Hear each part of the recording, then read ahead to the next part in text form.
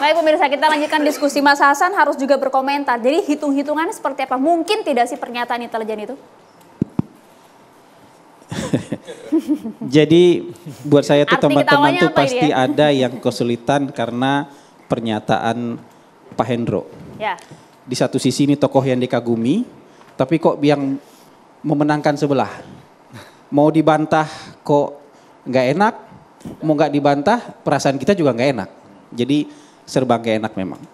Tapi ya satu hal yang saya yakini, ya disampaikan Pak Hendro itu juga bukan data intelijen senyap yang diambil dari ruang tertutup menurut saya. Menurut saya dia baca hasil survei aja. Ikan data survei itu political intelligence.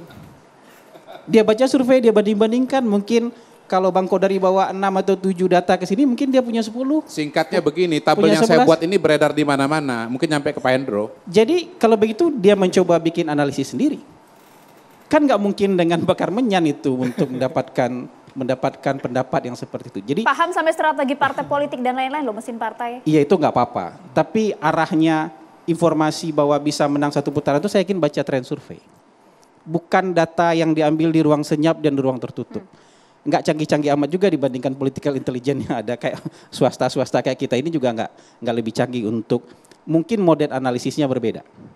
Kemudian dia gabungkan dengan perpaduan kekuatan misalnya. Misalnya logikanya begini. Di atas meja memang ini kan koalisi Prabowo apa Gerindra, Golkar, PAN dan lain-lain. Itu di atas meja.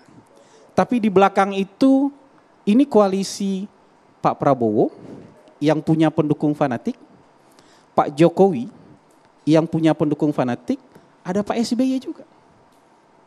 Presiden dua periode yang mau besar mau kecil juga punya pendukung fanatik.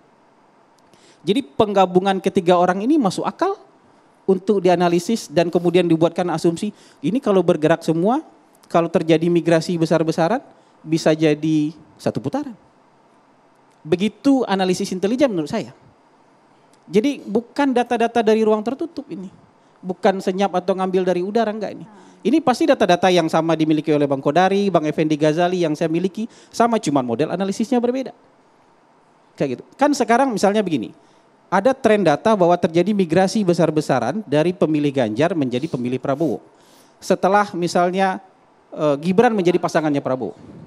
Anies lebih stagnan, lebih militan dan lebih kuat.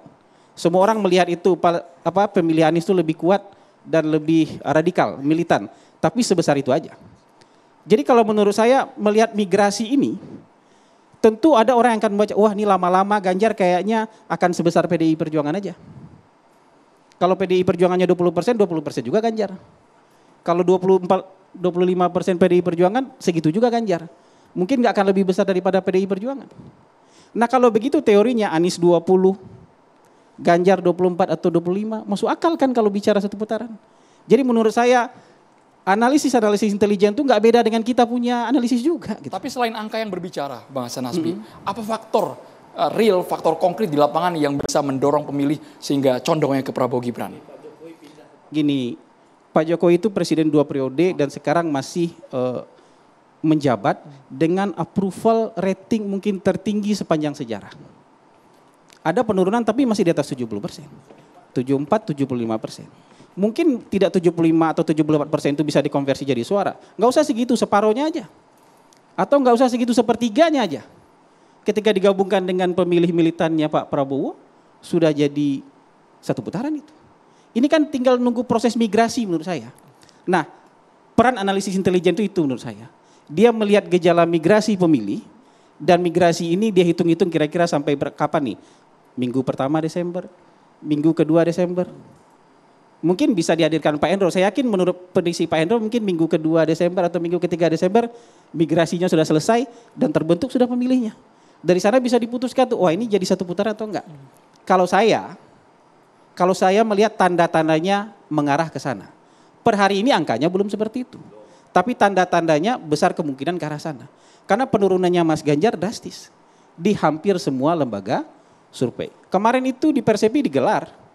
Polster-polster yang berbeda itu digelar.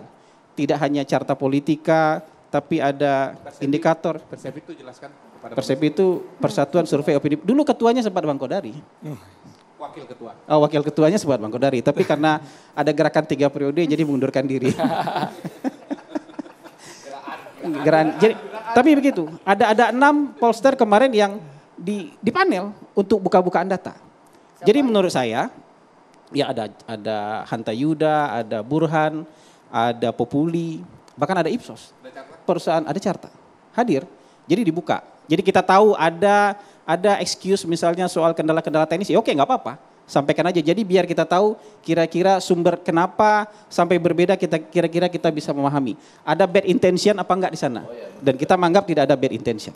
Jadi menurut saya yang kayak gitu. Jadi kalau kita melihat seperti gini, Polster ini mau berpihak mau enggak, tapi sudah terbukti 20 tahun terakhir ini menjadi rujukan.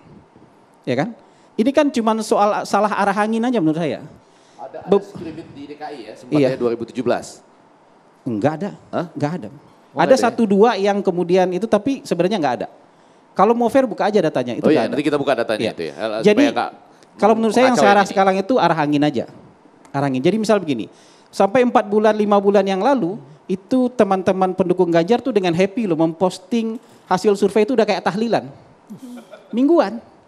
Minggu ini ada ini, minggu depan ada ini, udah mingguan aja udah kayak orang tahlilan. Saya pikir ini eh, nah makin misalnya bulan Agustus ke sini tuh udah makin jarang. Beseknya habis kayaknya. Jadi nggak tahlilan lagi. Wah ini tudingan serius. ini. Biasanya habis maksudnya. Nanti Beseknya habis kayaknya, jadi ya. nggak tahlilan lagi. Kita tahan dulu, Nah setelah itu polster-polster ya sudah mulai menahan diri. Prabowo Gibran juga ya. Sudah mulai menahan diri untuk publikasi. Saya nggak pernah publikasi loh tiga tahun terakhir. Data saya hanya dikasihkan ke klien. Oke. Ya, saya tidak punya publikasi. Saya, tapi saya tahu mana polster-polster yang angkanya mirip dengan kita. Dan kita telepon-teleponan. Untuk mengcross check data. Kalau ada yang aneh kita kita bilang nih. Dan ini hari ini nggak ada yang aneh dengan perubahan pemilih gini. Serot Ros, ini tahun 2008 Oktober 2008 semua polster sudah menemukan Demokrat akan jadi jawara. Cek aja data Bang Kodari. Oktober 2008 Lebih jauh lagi 2007. Oktober 2008 itu sudah menemukan bahwa Demokrat akan jadi juara. Oke. Jadi kita sudah sudah tahu. Hari ini prediksi saya nih, jawarannya nanti 2024 kemungkinan Gerindra. Karena data sudah Oke, menunjukkan. sampai di sana ya Bang ya. Sampai di sana. Bang Guntur Romli harus komentar Bang. Silakan. Ya kita kalau ngelihat Bang Kodari, Bang Hasan ini kan bagian dari tim sesnya Pak Prabowo sama Gibran. Jadi biar rakyat aja yang menilai, itu aja. Enggak satu lagi aja, sedikit aja. Saya cuma mau cepat-cepat mengatakan dua kalimat bahwa ketika banyak dipersoalkan soal dinasti politik itu, ternyata pengetahuan orang tentang itu kan kecil ya. 30 sampai 37 persen, betul itu? Sudah nyala. Ada Udah Bang, langsung Bang. Sudah, sudah. sudah. jadi sebenarnya bukan masalah kecil besar, Bang. Iya. Tapi masyarakat tidak menganggap ini problem Oh serius. Bang. dari yang 30, Nggak anggap 37 persen, 85 persen katanya tidak setuju. Gini, Bang. Di desa-desa Iya. kalau ada kepala desa yang sukses, orang minta anaknya jadi kepala desa lagi, Bang. Istrinya diminta jadi kepala desa. Oh iya, ya dalam pilkada terjadi juga Bupati hal juga yang seperti itu. Bang. ya. Jadi Cuma- ketika misalnya ini jadi perdebatan di ruang akademik, belum tentu juga jadi perdebatan di masyarakat. Enggak, enggak, saya cuma mau menyampaikan bahwa yang tahu definisinya Hmm. secara komplit itu 30 sampai 37 persen. Bukan bang, yang tahu bahwa ada persoalan perdebatan ini di publik nggak banyak, nggak nyampe 50 persen. Iya. Tapi orang yang mengerti apa itu dinasti lebih dari 50 persen.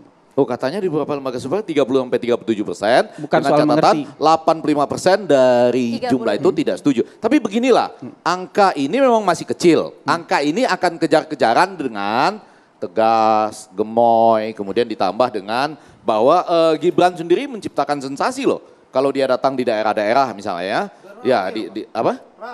Iya, enggak maksud saya itu tadi ditambah lagi dengan derasnya bantuan sosial yang jalan gitu. Terakhir Itu- saya mau bilang begini. Itu kan kejar-kejaran. Kalau misalnya ada orang bicara kemudian dituduh, wah ini kan tim Prabowo, nggak usah per- percaya omongannya. Jadi orang juga bisa bilang ini kan timnya Ganjar, nggak usah percaya juga omongannya. Iya, iya. Sekarang Kan kita adu argumen bukan adu adu Oke. identitas. Ragukanlah semua pengamat, nggak apa-apa. Oke, dengan bukti dengan Tapi data Mas, Bang. Mas Guntur Romli komentar juga Mas. Netralitas, ya signifikan kan? loyalis Ka- Jokowi, Kita Mas, ya. bicara soal konflik of interest di sini, ya.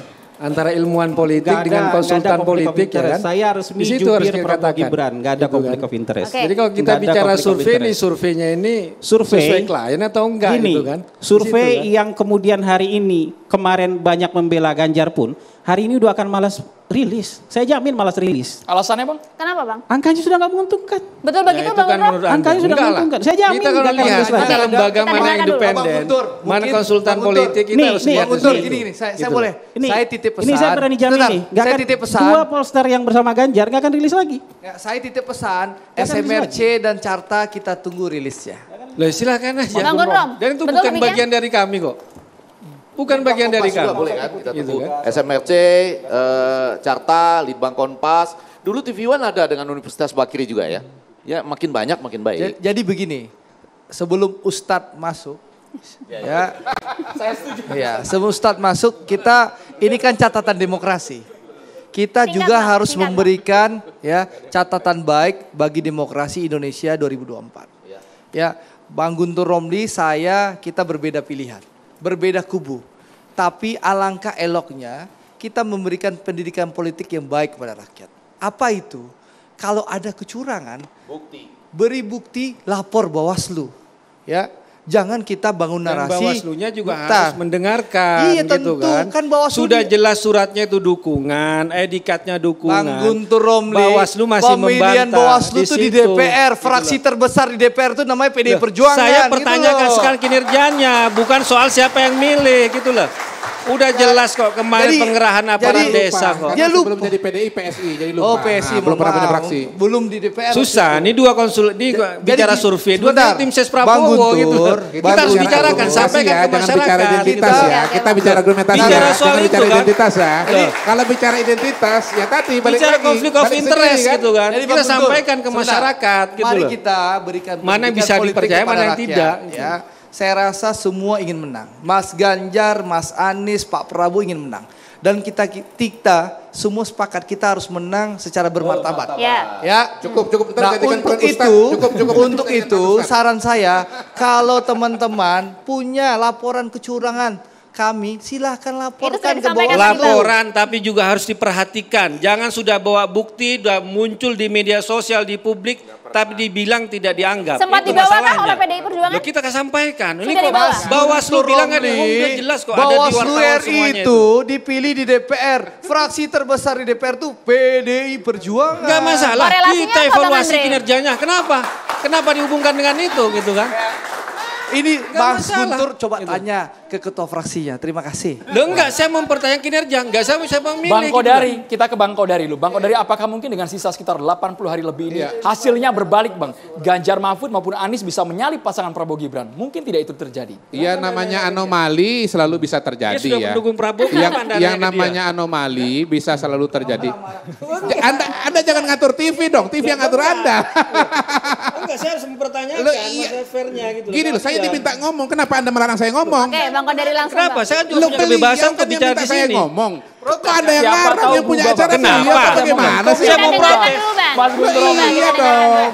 Karena karena katanya Anda yang fair. Anda nanya ke pendukung Prabowo, itu yang Dengerin, adil gitu Nggak kan. Dengerin saya ngomong. Saya ya, belok. Dengerin saya baik-baik ngomong ya. Kalau tidak ada kalau, kalau memang pakai anomali. metodologi harus fair, Bang Kodari. Kalau memang kalah ya sudah diutarakan iya, ke publik kan, Makanya saya bilang kalau tidak ada, ada tidak ada anomali ya Ya maka kemudian polanya akan menuju Prabowo dan Gibran menang bahkan bisa satu putaran kalau tidak ada anomali. Tapi yang namanya anomali dinamika itu bisa terjadi. Cuman yang namanya anomali atau dinamika yang besar di mana-mana jarang yang terjadi biasanya adalah tren. Udah cukup begitu. Oke, Mas Gunrom, sekarang Mas Gunrom. Sekarang. Tapi Anda yakin tidak bahwa uh, pasangan Anda Ganjar Mahfud akan menang Udah satu jelas, putaran? gerakan tiga periode yang digerakkan oleh Kodari itu gagal. Itu pertama. Yang kedua. Oke. Yang kedua ya, taruhannya Bang Hasan bahwa Anies tidak dapat tiket juga kalah, kalah Alphard. Itu aja bukti yang sudah disampaikan. Oke, Anda yakin bahwa Ganjar dan juga Mahfud akan menang satu putaran, Bang? Silakan. Enggak, gini kalau lagi broken heart itu memang susah ya apa itu membabi buta. Jadi Jangan semua ditendang. menebak-nebak hati orang gitu. Enggak, itu itu udah pasti broken Coba heart. kita itu. terawang hatinya ya. Sudah broken heart itu. Karena apa kalau misalnya Pak Jokowi bersama Mas Ganjar tidak akan broken heart seperti itu. Jadi gini, kalau yang berdasarkan survei, saya yakin di bawah satu persen melesetnya. Beda. Kalau soal taruhan apa, Mas Guntur dukung taruhan saya waktu itu. iya, iya istrinya Mas Guntur juga mendukung sekali waktu Ah, itu, kalau sangat bangga usah sekali. kaitkan dengan saya, Bos. Iya. Saya nggak dukung. Sangat mendukung. Saya nggak suka taruhan. Nah, gitu. Sangat mendukung. Tapi ini itu urusan perhitungan, nggak ada urusan dengan survei. Itu urusan perhitungan di luar survei. Dan itu kan sudah dibayar. Udah udah nggak ada masalah. Jadi buat saya, iya, yang kayak gini-gini itu. Udah lunas tapi iya. memang kalah. Kalau ya. hari ini kita kan bicara tren survei, bukan hitungan menyan nih, Oke. bukan asap menyan yang kita hitung nih. Ngomongin kita survei bicara soal habis-habis Pak Hasan Hasbi. Iya. Kita tunggu nanti hasil KPU aja seperti apa. Sesaat lagi catatan demokrasi akan segera kembali pemirsa.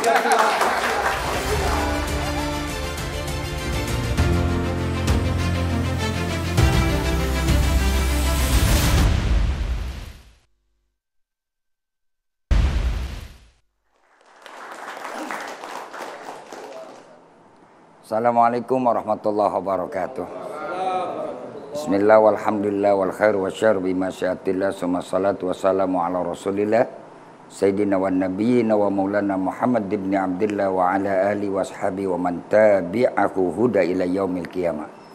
Para narasumber yang saya hormati dan sama saya cintai yang tidak saya sebutkan satu persatu namanya namun tidak mengurangi rasa hormat dan cinta saya dan juga kepada host kita para pemirsa catatan demokrasi di mana Anda berada. Alhamdulillah pada kesempatan malam hari ini setelah kita dengarkan perdebatan panjang di mana memang sebentar lagi kita akan menghadapi pesta demokrasi. Seyogianya pesta demokrasi ini dijadikan satu pesta yang riang gembira. Yang tidak harus ada perselisihan dan tidak ada pertentangan.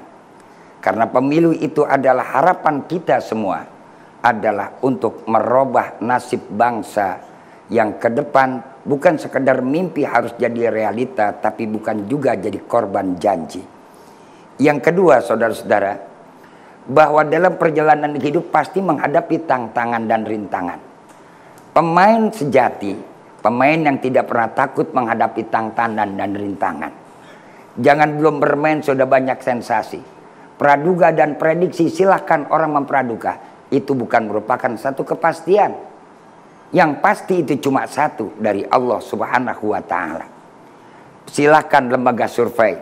Silahkan orang menduga. Tapi bukan merupakan satu kepastian.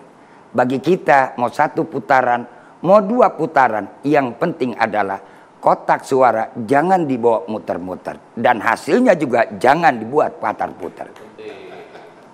Itu yang paling penting. Karena itu adalah untuk meraih mimpi yang sejati buat rakyat. Jangan lagi kita jadi korban janji mereka. Karena itu saudara-saudara, para pemirsa, di mana pun Anda berada. Ambillah satu perjalanan apa yang dihadapi oleh Rasul. Rasulullah Shallallahu Alaihi Wasallam ketika berdakwah di kota Makkah menghadapi tantangan tidak pernah takut dan tidak pernah mundur menghadapi rintangan. Dihadang, ditekan. Yang penting Rasul memberikan apa? Satu jawaban sikap yang sejati dan kemudian menawarkan mereka dengan apa yang betul menjadi harapan yang nyata. Kita pun juga mengharap kepada seluruh para kandidat-kandidat kita, kontestan-kontestan kita yang akan tampil, mari tampilkan gagasan, bukan menampilkan kecurigaan dan rasa ketakutan. Mudah-mudahan insya Allah pemilu kita damai, pemilu kita aman, siapa pun besok yang menang adalah kemenangan buat rakyat kita semua. Allahul muwafiq ila aqwamit thoriq. Assalamualaikum warahmatullahi wabarakatuh. Waalaikumsalam warahmatullahi wabarakatuh. Terima kasih banyak Kiai Sumarno, Mas Guntur Romli, terima kasih Pak Eros Jarod dan juga Bang Effendi Ghazali. Terima kasih juga Bang Kodari, Bang Hasan, Bang Andre, dan juga tentunya kami ucapkan terima kasih untuk mahasiswa dari Universitas Nahdlatul Ulama Indonesia dan juga Universitas Bakri Jakarta. Kita berdua pamit pemirsa kami kabarkan Anda putuskan. Saya Maria Segar. Dan saya Andro Merkuri, selamat malam. Terima kasih, sampai jumpa.